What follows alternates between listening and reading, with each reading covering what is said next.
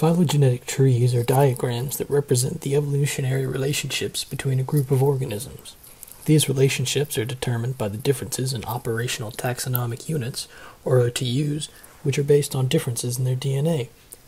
In rooted trees, OTU divergence or cladogenesis is represented by the splitting of branches at places called internal nodes, easily identified by the vertical lines. These nodes represent the most recent common ancestor for the split branches. Rooted trees have a common ancestor which all OTUs in that tree can be traced back to. The example tree we're going to go over today uses audio devices as the OTUs. We can't really compare their DNA, so instead the different OTUs are going to be determined by differing designs. We'll build the tree up from the root. At the first node, representing the common ancestor, headphones diverged from speakers and continued to evolve independently. This development gives us an outgroup in the form of the speaker lineage. We call this an outgroup because it's distantly related to all other OTUs.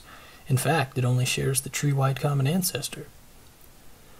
Earbuds were the next to diverge from over-ear headphones as they developed an even smaller profile. Following the over-ear lineage, we see that wireless headphones were the next to emerge. Each of the over-ear lineages went on to evolve once more.